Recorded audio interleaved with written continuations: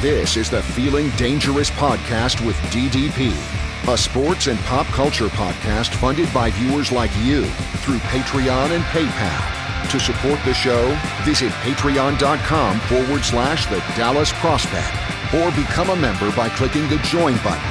Now, enjoy the show. Welcome back, everybody. This is Darreck Kirby, joined again by Saad Yousuf of The Athletic. And you've probably read his work before. If not, you definitely should. You may have also heard him on whether it was previously with ESPN back when they actually had a local team here. And uh, you've also probably heard him on 1310 or 96.7 FM, the ticket as well. Uh, the beat writer now for the Dallas Stars for the Athletic, and uh, really does really great job. You've also covered uh, pretty much any other team in DFW under the sun. It seems like um, for for outlets like WFAA, I mentioned ESPN, and now the Ticket.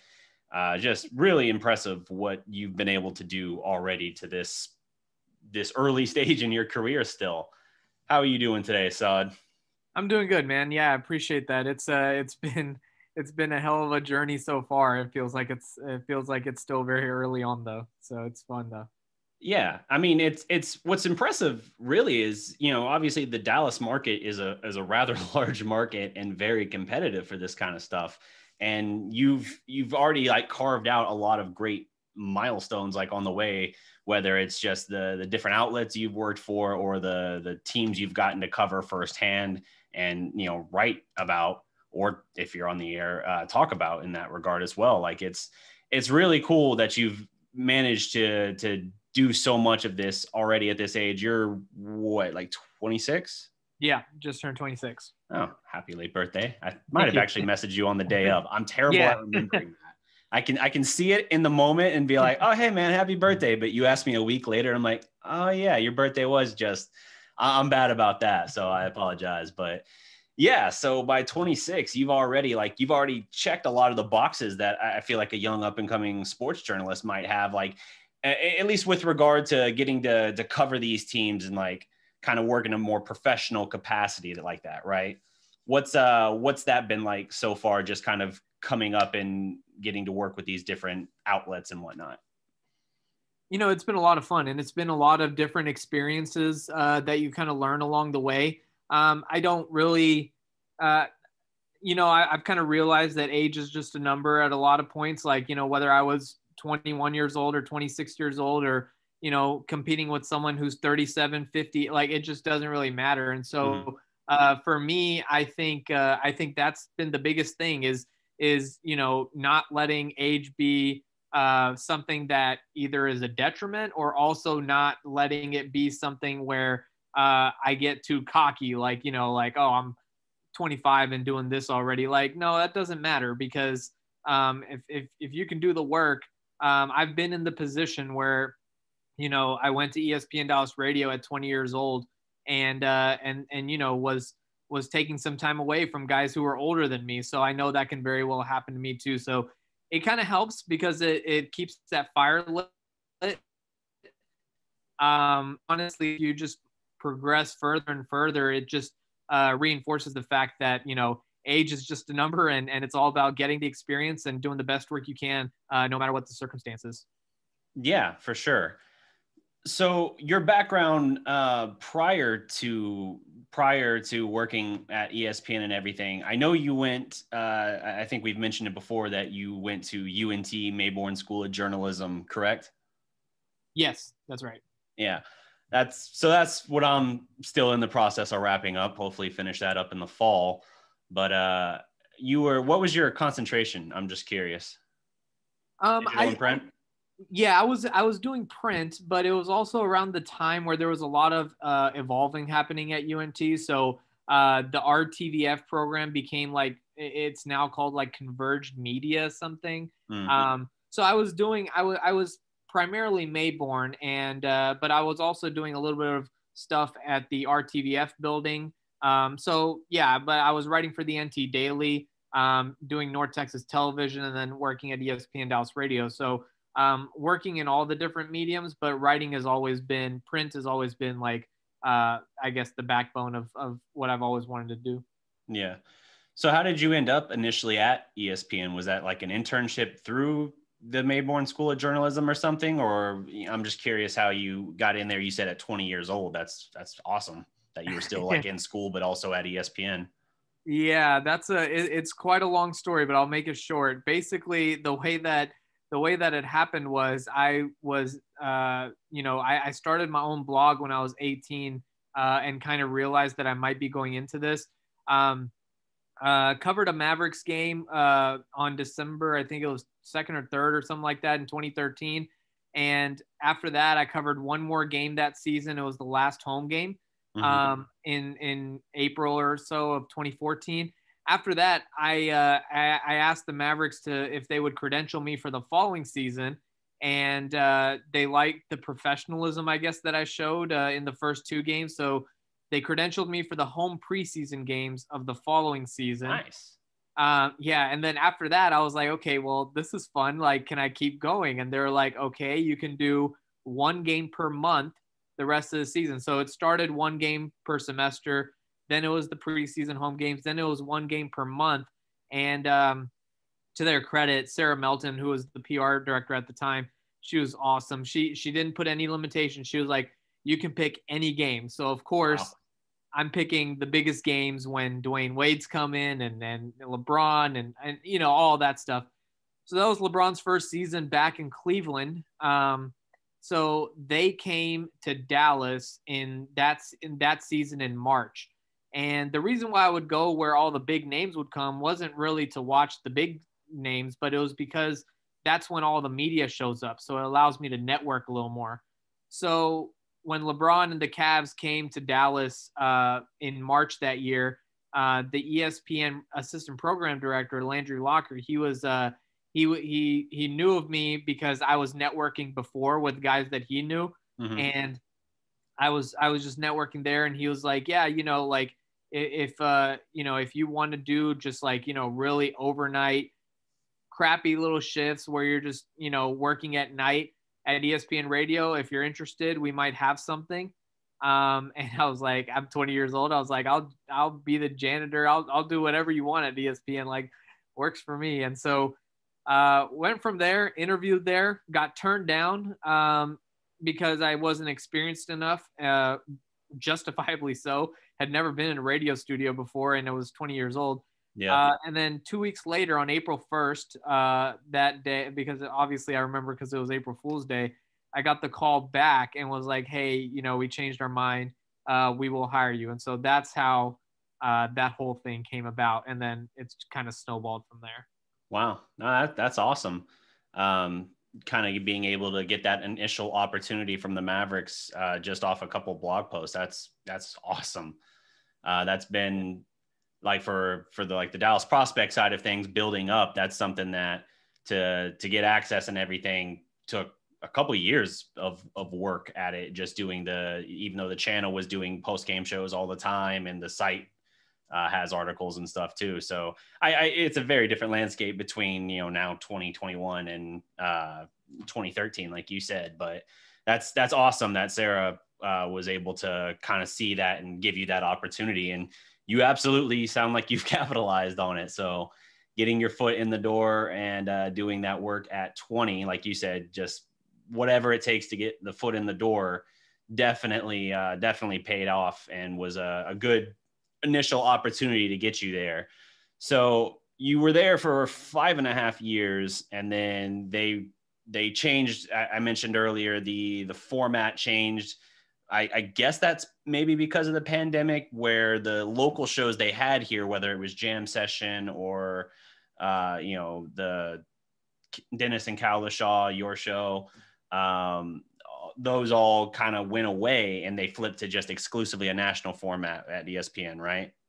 Yeah, that's right. So yeah, it was. Uh, it, I don't know if it was pure, if it was all pandemic. I mean, you know, it, it was 2020, so I'm sure it contributed to it. Um, but I don't know that for sure. But whatever happened there, it just you know everything just kind of uh, shut down. But it was it was a great five and a half year run for me. It was a lot of people uh, there that like you know helped me along so much. And like when you're when you're 20 years old and have absolutely no journalistic background and and things like that. It, it goes a long way to be around good people and and uh, and I will say just enjoyed the hell out of you know working there every single day. It was the people were the best part about it, and so yeah, that was a that, and and you know the thing is is people say this a lot, but it's actually really true.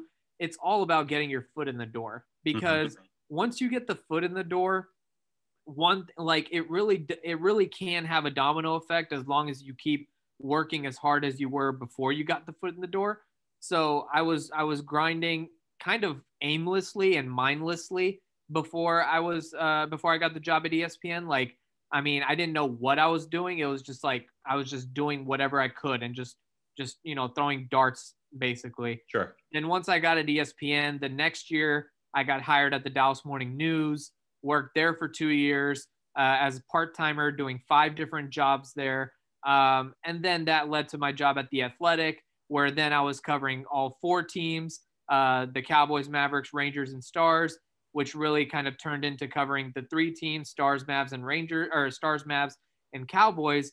And then that's kind of led to covering now the Stars. So it's been it's been very much a progression. Um, and you know, to anybody listening and and to and to really anybody, there's in this industry, there's just no shortcuts. Like I mean, I'm sure there's like nepotism or whatever, but mm-hmm. uh, other than that, like if you're an outsider, like you have to work really hard and you have to and and you just have to put in the time and effort and you have to be a good person because relationships are everything yeah networking is is absolutely essential to that it's one of those things definitely where there's a lot to be gained on the the networking who you know um, makes all the difference in the world and uh, I'm, curious how did how did you manage to juggle all of those like covering all of those different teams like being able to to be credentialed in covering Rangers, Cowboys, Mavericks, um, all at once just seems like it would just be dizzying.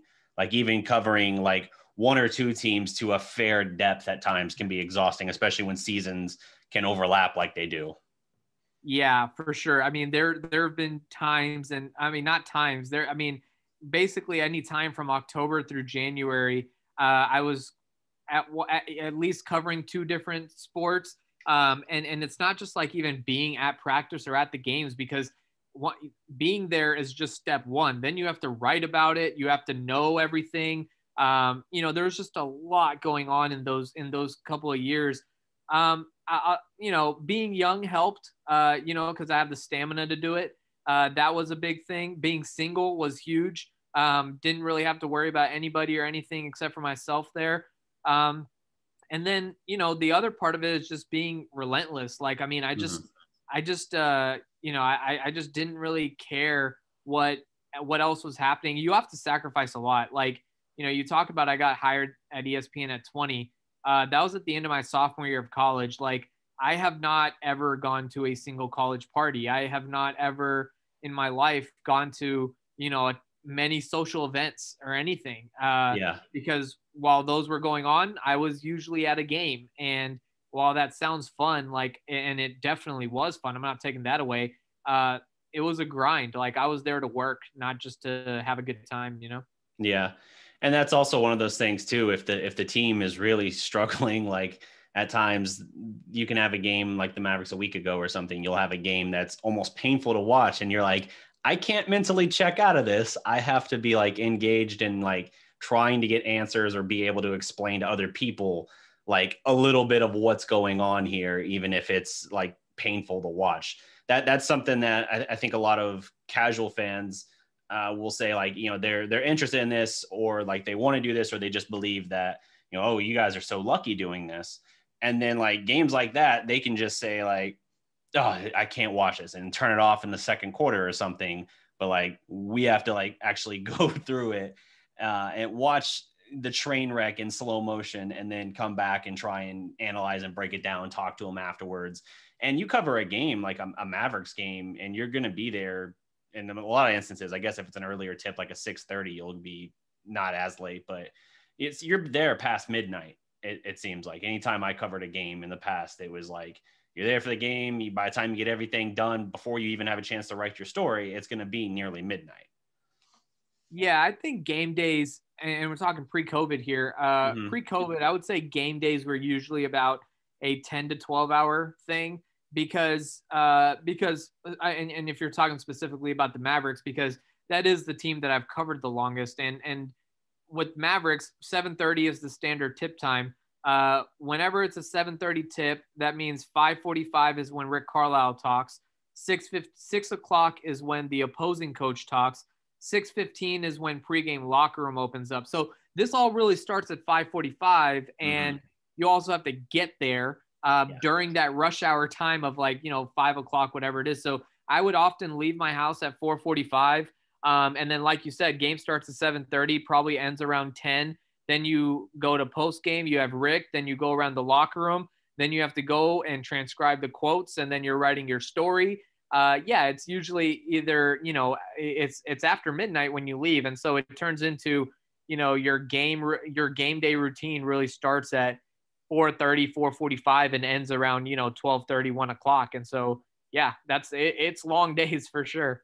Yeah, it, it's an absolute grind, and uh, I mean I, I've done it I've covered, you know, pre-COVID probably two dozen games over the years, and yeah, I, I can't imagine working that and covering as many games as uh, as you have. It's funny because like even in the past years I went way before I actually knew who you were. Like I remember seeing you like in the locker room, um, and back then I was just like I'm just happy to be here. I'm just like observing and like trying to get a general idea of uh, the great questions everyone else is asking, and then I'll I'll pick and choose my spots here and there. But I largely just kind of you know tried to be the wallflower or something, just kind of observing and doing all that. And uh, yeah, it's it's a very challenging job. It's a lot of fun, but it is challenging. It can be very draining when you're, like you said, doing it from basically like four o'clock until past midnight, and that's just covering that. Then you got to drive back home, which uh, you know, if you started out, you were still a student at UNT, probably like me driving back to Denton, that's like another like 35, 40 minutes minimum, even that time of night. So, yeah. yeah and like the other thing, yeah, the other thing also was for me, a lot of times, like I would be going to Cowboys practice at two o'clock. So my days, like a lot wow. of times I would, I would leave the house and like, you know, sometimes there'd be stars practice in the morning. So sometimes I would leave the house at like, at, like I remember it, it recently popped up in one of my time hops where I left the house at 9:45 in the morning and came home at 2:30 a.m. And you know, I just like because because it was one of those days. It was actually uh, it was actually like one of those days where like you know I had to cover three different things. I think I had to go cover like an off-season Rangers press conference or something. Mm-hmm. Uh, so just a lot of different stuff that like, but but that's the thing is like you have to be able, you have to be willing to put that time in.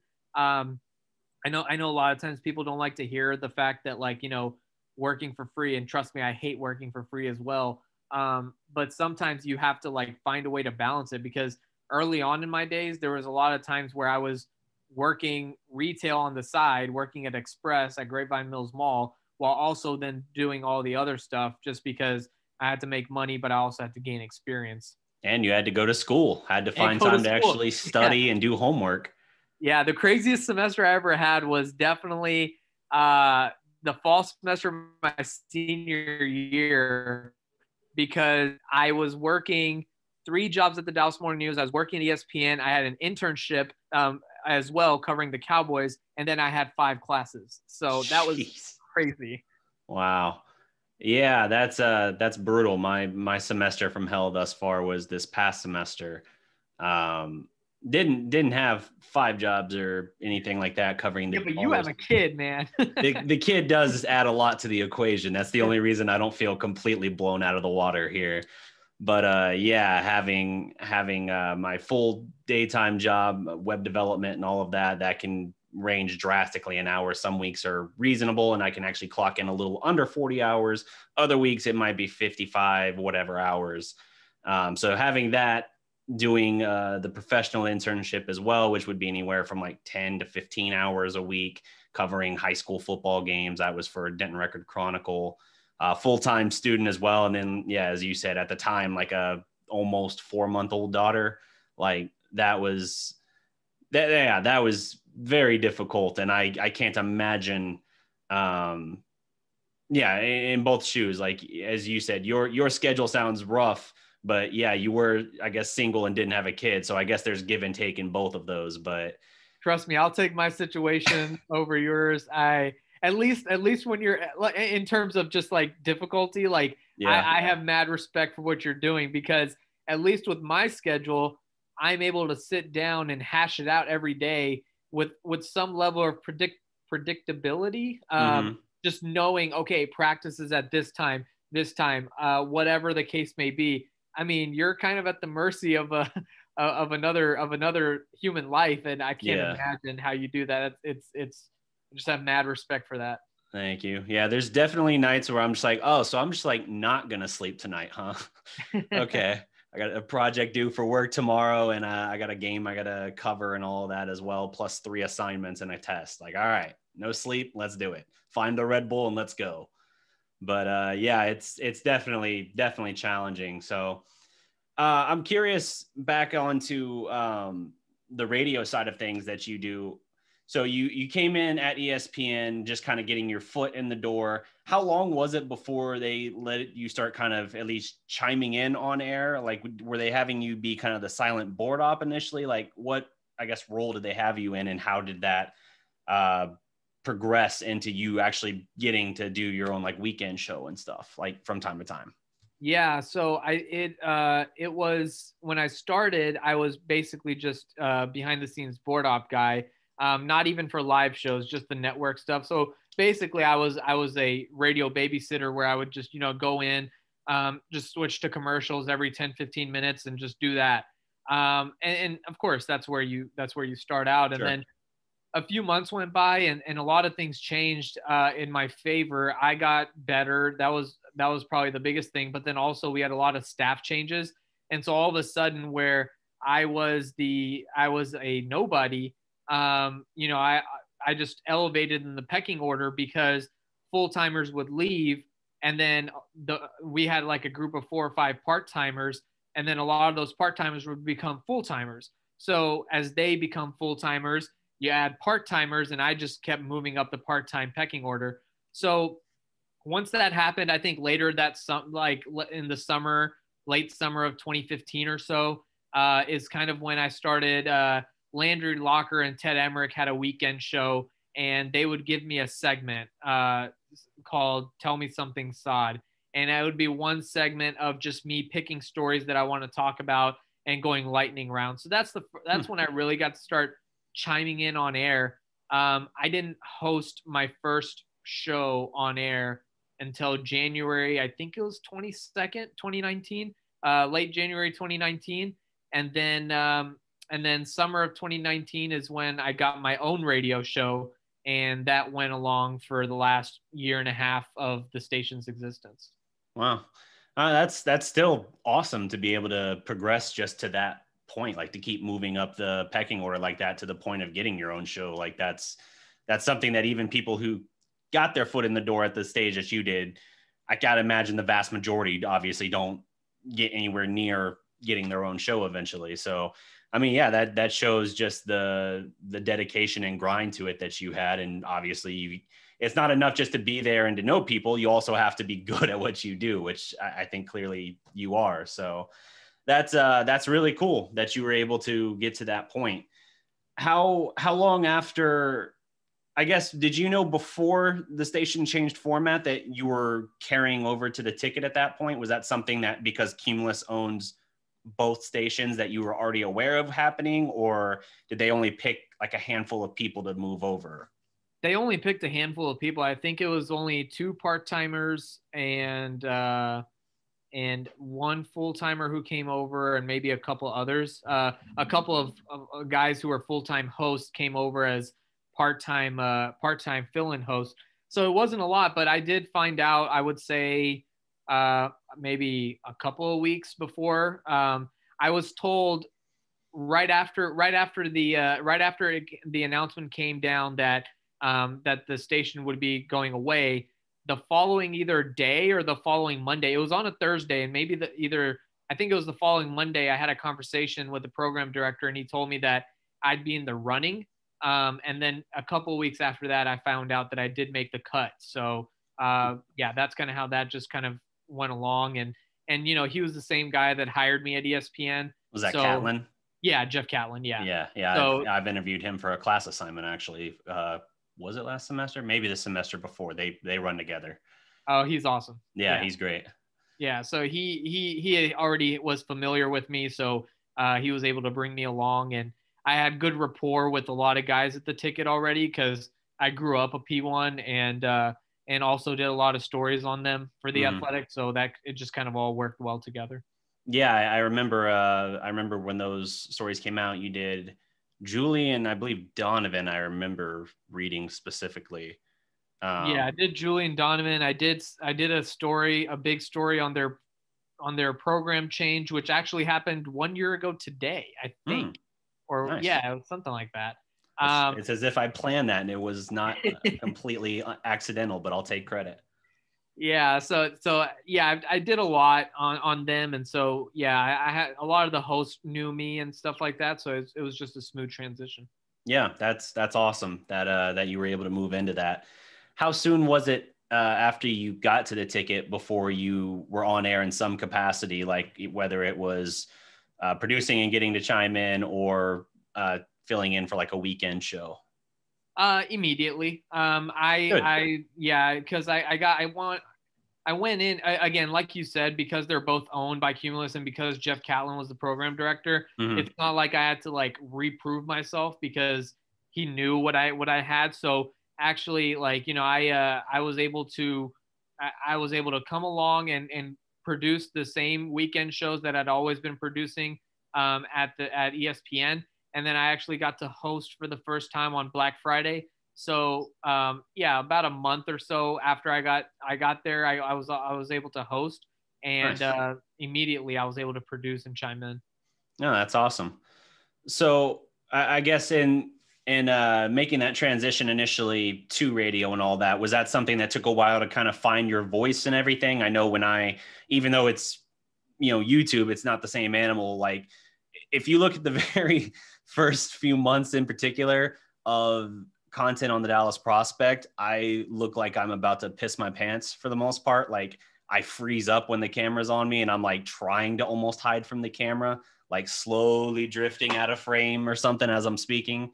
Uh, but it, it's taken a while to find uh, some degree of comfort where now it just feels pretty natural to me. I'm curious if that was a transition at all for you, even if not to the same degree of anxiety. Oh, I, I bet you it was more. I mean, I, I don't know about you, but I'm very introverted. Uh, my personality is very introverted. So uh, I remember like when I would when I w- when I first started hosting specifically, not so much the producing and the board op. Like I could do that because I'm not in the spotlight and, and Mhm. I work well there. Um, but when I was hosting, like I literally remember going to the break room right before I would get on air put water on my face, give myself a little pep talk, and then and then have to walk into the studio and just start talking um, because because that's kind of where my mind was. Now that got better. I would say it took probably about I don't know maybe about two months Mhm. um, before it actually got there. Uh, but before I didn't have to like give myself an inner pep talk every time. Um, but but it took a while, man, and it's tough because because it just things are different. Like you just you it just sounds different. Uh, you sound different. Like everything everything changes a little bit when you're talking on air, and a lot of the, you know, like I said, the stuttering, the that kind of stuff, like you and and saying like like too much or uh like those are things that you start catching on to and you try to fix as much as you can but it definitely takes time Yeah. I, I think for me, the thing was always the first few minutes. Like I would jump on to a, a live stream or something and I would be 100 miles an hour, just almost like panic talking, just because any degree of pause or silence, I felt like it was trans, like I was translucent. People could see like how tense I was and everything. And so I just almost like aggressively just trying to talk. And after a few minutes, I could kind of settle in as that almost anxious energy burned off a little bit. But it definitely took time. And I still, every now and then, when I go off on these tangents, the worst thing to me that I still will give me some degree of panic is if I you know when you're like it's like your mind is laying down the train track as you're going you're off on a tangent and then suddenly you almost lose track of where you are and you're like i'm running out of line here on the track and now i'm going to like pause and try and remember what i was even saying. I, I still have that from time to time and i try to i've gotten a little bit better at hiding it but that's one of those things that i still struggle with even now even with the degree of comfort it's just with that comfort i'm able to kind of mask it a little more or riff off of different stuff, whether it's a comment in the in the chat or something like that. Which I guess obviously radio, you guys don't have the quite same degree of access immediately to reaction. Although you guys have like the text line and stuff, right? How does how does that work? Yeah, yeah, we have all that, but also like like you know, I'll say like what you're doing also is I don't want to say more challenging, but it, it's a different kind of challenge because um, because in radio if you're have if, if you start off on the wrong foot or something you just need to get to the break. And mm-hmm. that that's usually like five or ten minutes or so 10 minutes and then you're able to just reset. You can you have a radio host you have you know a different line of thought a different topic altogether on the on the other side of the break. So you're able to like really you know uh, reset yourself in those situations Whereas when you're doing something like what you're doing, I mean, this is a continuous hour long conversation. I mean, we've done podcasts in the past, whatever it's been 30 minutes or so. You just got to keep rolling, you know? And so that's kind of where I think it's also a little different as well. And, and, and so, yeah, I think, but, you know, you talk about that. I think the breaks were really big for me because it just gave me a little reset every single time. And that was really helpful. Yeah when uh when you were initially doing those shows was the person you were working with someone who had been doing it or were they kind of green like you were in that case? Most of the time it was someone who had been there. Uh there were some times where it was uh someone that was fresh. The only dynamic that was really specific to me was i would say 90% of the time i was always paired with someone who was more of a natural radio host because uh because i'm more of a I'm more of a uh, color commentator type guy. Like mm-hmm. I'm I'm there in the locker room. I'm the reporter. I'm all that stuff. Um, the guy that I'd be paired with would usually be someone who is uh, more of like a you know natural radio host type thing. That makes sense, and that that's another uh, good aid, I guess, in that case to have is even if you are struggling having a, a co-host, uh, someone who's done it and comfortable with it, who can kind of either throw you a line or kind of step in and pick up the the line of thought that you're that you're on even if you're struggling with it or something like that that would have probably saved me a time or two from just completely fizzling out and blankly staring at the screen as panic shows on my face like oh god what was i saying? Right.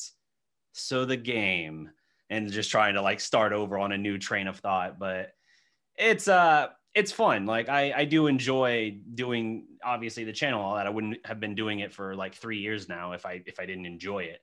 But it, it has been interesting. Um it the grind is the grind that like you've shown and everything getting there is and I, I really do. It, it's I do think it's remarkable uh how hard that you've worked and how far you've been able to move to this point to now at 26, you've been named the uh, full-time beat writer for the Athletic, covering the Stars. Like that's that's basically like the kind of made it for digital and print journalists and everything, right?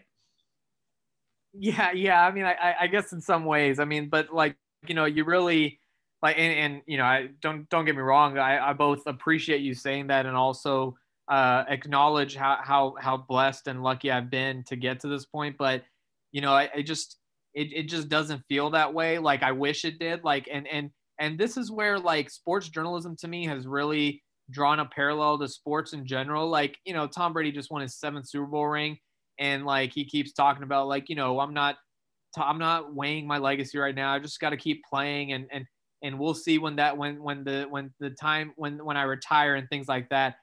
That's kind of what it feels like, you know, like like I mean, I'm not oblivious to the fact that I'm very blessed and all that, but this just doesn't feel like it's the end.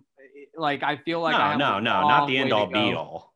Yeah, I, I, I do feel like I have a long way to go right now. So, sure. um, you know, hopefully, just you know, things keep progressing. And the the other thing I will say, um, and this is this is just true about the industry in general anything you do in sports journalism it's the best job in the world in the worst industry i mean it is a brutal industry out there you just don't know when the last day is going to be mm-hmm. um, we saw a lot of guys get laid off at uh, tsn just earlier this week um, uh, radio station up in uh, up in canada and so you know, you just don't know when that's so you have to really just appreciate the moment. So it's a balancing act of that.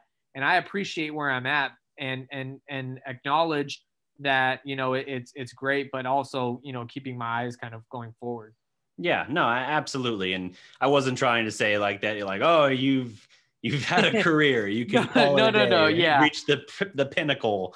I think uh, I think you look at guys like you know Mark Stein and and and Adam Schefter and, sure. and those guys, you know, even even like you know guys like Tim McMahon, even though he probably would say something similar to what I'm saying, those are the guys that I look at as like my role models and guys that have made it. Uh, so yeah, I mean, you know, that's it's completely different.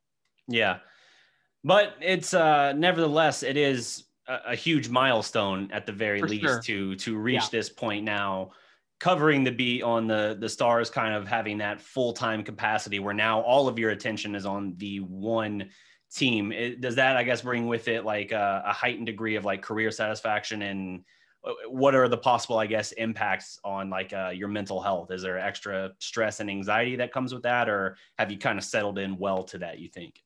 Um you know you know if i'm being completely honest with you it's it's a lot more stress and anxiety at least for me right now. Um, I've had I've actually haven't dealt with it very well um, in the first two months on the job. Um, so I'm still working through a lot of that, and I and I think you know there's a balance of of you know how much you let it get to you, and and every day there's something different, whether it be you know not feeling like you're you're doing as well as you know competitors or your predecessor or uh, internal company goals and things like that. Like there's a lot of factors that go into it. And, uh, and I just, uh, I'm, I'm not there yet. I, I, I'm, I have a lot more, I have anxiety a lot more times than I have no anxiety, I would say over the last two months. That's, there's yeah. no doubt about that. I, I mean, that's, that's understandable. Um, and I, and I think that's something as well that, uh, self care is definitely something that's difficult for a lot of people to to do. I'm not the best at it either. I feel like I've been trying to put more emphasis on it in recent months because in last semester where I where I had this kind of semester from hell, I didn't handle it very well. I was incredibly stressed out of my mind and not uh, I didn't feel like I was like my grades were fine and everything, like straight A's, but I, I felt like I was tense all the time. Like I couldn't relax and it made it harder to be mentally present for things. So if I was sitting down with my daughter, for instance, uh, there, there would be like a little bit of it where I would just be so either stressed out or just exhausted that I didn't feel like I was fully present. And like that, that bothered me. I, I felt like I was doing something wrong or I was being a not great parent somehow by that. And I kind of finally had to realize like, well, I'm not I'm not taking care of myself like I need to, or I'm trying to find some kind of crutch of sorts for me to to cope with this, and it's not always the best way to go about it. And so I had to, you know, something I do every year is I go out uh, and do this like remote cabin retreat and basically just get away from everything. Like I'll turn my phone off, leave it in the drawer the entire week I'm there and I know obviously for like your position, that's incredibly difficult, if at all even possible. But that's something that for me helps a lot, just getting away from everything, just like almost this like detox of sorts where you're just out in like the the woods somewhere and hiking a lot and just literally clearing your mind, just letting everything uh, kind of release, you know, just that mental clarity that can kind of come from that. And I usually come back from those trips feeling really refreshed and it, a big part of it is not just from like the physical side but also just kind of saying like all right what uh what do you think you're doing good what do you think that you need to improve on and one of the things i always come back to is i need to do a better job managing my mental health as i'm going through the course of the weeks because it, uh, if not, it's going to build up to the point where I just don't feel like me and I feel like I'm just not in a good space. So I, yeah. I can definitely relate. Yeah, you know, I, it, it was a really it really hit home for me, uh, you know, recently in early January because uh, I had to miss a stars availability uh, to go to a cardiologist appointment, and that was when I was like, you know what, like like you have to balance all this stuff because you can't like I'm being I have all this anxiety because I want to do a good job, but I can't do a good job if I'm missing my job to go to doctor appointments. So sure. that was like a that was like a slap in your face like moment where it was like, hey, you know, get a hold of yourself kind of thing. And I think you know things have been trending in the right direction ever since. Oh, that's good. I mean, that's that's the big thing is you gotta you gotta kind of take care of yourself because yeah, it'll it'll eat you up otherwise. So I can uh I can definitely relate to that feeling for sure. Um, so in in switching into covering the the stars exclusively we, we talked before about how you also covered all the other major pro teams.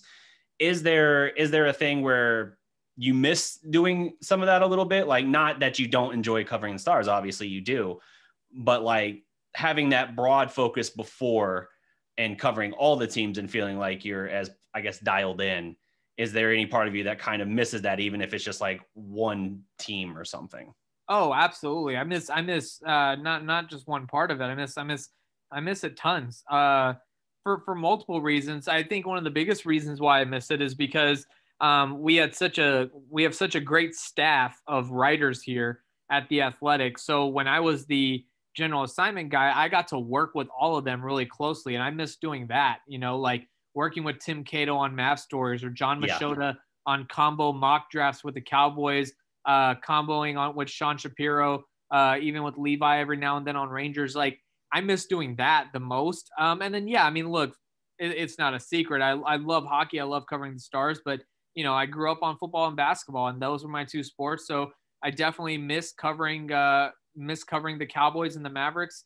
Um, but you know, it's uh, at the same time, like you know, I, I've I've kind of moved on from that job in in uh, mid November or so, um, and you know, I didn't miss a single Cowboys game. I just watched it differently because sure. you know now I'm just watching with enjoyment. You know, I've probably missed like I've probably missed like maybe a couple of Mavs games, but I've still watched like most Mavs games because um, you know, unless they directly contradict with the Stars game and even then like a lot of times i'll i'll watch the next day or something. Yeah. just, you know you, you can't like you, i just watch from a different perspective. I'm able to just relax and not look for certain things but i'm still you know i still love those sports. I love covering i love covering those teams. And the other part is i still do cover those teams for the ticket. Um, so you know it's a part-time capacity uh, but and i'm not writing about them but i still do talk about them, cut audio, things like that for the tickets. So still very much uh, involved in those areas as well. Yeah, for sure. Uh, and that that's definitely one of those things too. I know in like my experience, if I'm if I'm covering the Mavericks game, I always feel not like it's not like I dread it. I don't. I enjoy it, but I feel more like almost tense and on my toes a little bit. Like you said, you like you're really having to like pay attention and look for greater trends and things like that, or take note of specific details like, oh, okay, after the Mavericks took a timeout, they came out and had a 7-0 run that kind of got this guy going a little bit and that led into the, you know, like there's just bigger things that you have to look at. Whereas if I'm not covering the game, but I am talking about it on the channel, I'm watching the entire game, but like it's not as zeroed in absolute I feel like I, I, feel like I'm able to be a little bit more casual about it. Where if my wife says something, I can like, you know, interact and engage a little bit more freely and just kind of keep an eye on it and keep listening and everything and still be fully in the in the know of how it's progressing. So it's a it's a different animal for sure. And I I definitely enjoy covering it, but there is that extra little bit of uh I, I, guess tension or whatever with it where you just feel like that pressure like oh okay i really gotta be dialed into this so that I can get great clips and everything afterwards from like the Zoom calls and everything. And then uh, you know, have those clips or talk about that in detail in the in the show, like the post game thing I do for the channel. So right. it's uh it's definitely an interesting beast. Yeah, no, it is. And then the grind is, I mean, you know, the way that you're approaching it, that's that's just the way to do it, you know. And so and so that like I, I think I think it's all about the way that you approach a lot of these things. And once you approach it the right way, it just it changes everything. Yeah. Well, it's uh it's very you know, it's it's great always talking with you and everything. And thank you for coming on and giving a little bit of context and everything to to your background and all that. Like I said, I've I've enjoyed your work for quite a while now, even before I reached out to you uh, several months back initially. Um, but always always the open invitation if you ever want to jump on and talk Cowboys, Mavericks, whatever. I'm not as dialed in on the stars. I, I can I can dial in on like playoffs and all that, but I, as far as regular season coverage, I'm just like I literally don't know how I have time to do that. I struggle to balance the Cowboys and Mavericks in years where in a normal year where they're overlapping in their seasons, you know. Yeah, no, absolutely. And and hey, you know, like I said, uh, I'm not I'm not as dialed in onto the Rangers. Uh, that's probably the and that's even before they were bad. I mean, even when they were good, I was kind of not really, uh, right. not a ton at least. Uh, but when it comes to Cowboys, Mavs, and Stars, like you know, I'm basically dialed in 100% on all of them. So it's a, it's a great time. Fair enough. Well, that'll uh, do it for our time here. Like I said, appreciate you coming on, and uh, we'll have to do it again sometime. Talk about, I guess, Mavericks here again soon. They're actually getting a little bit of positive traction again, which is nice to see. Yeah, sounds good, man. All right. Again, guys, check out Saad's work over at The Athletic and check them out on 96.7 FM or 1310 The Ticket AM. So until next time, remember every legend was once a prospect. Peace.